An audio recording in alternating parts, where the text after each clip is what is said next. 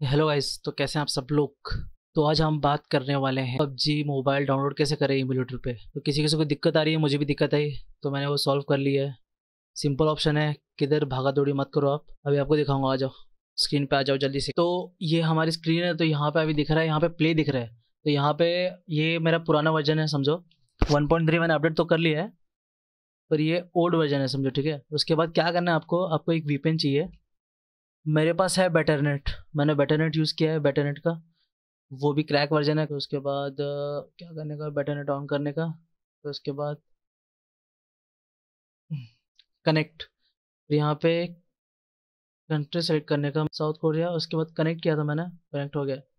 Connect करने के बाद यहाँ पे मुझे कहाँ गया ये। कनेक्ट करने के क्या बना रहे कनेक्ट करने के बाद यहाँ पे मुझे अपडेट का ऑप्शन आया था। ग्रीन कलर का अपडेट का ऑप्शन आया था, फिर मैंने अपडेट कर लिया यहाँ से।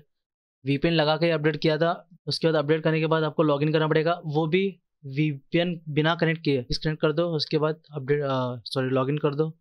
लॉगिन करने के बाद फिर आपके पास जो भी मैप वगैरह है, वो डाउनलोड करो। मैप डाउनलोड नहीं होते तो आपको मैंने बता बता चुका हूँ पहले की वीडियो में आपको वीपेन कनेक्ट करना पड़ेगा, वही साउथ कोरिया का। वीपेन कनेक्ट करना पड़ेगा क्योंकि उसमें ही फास्ट आ रहा है। आप भी उसमें करो फिर।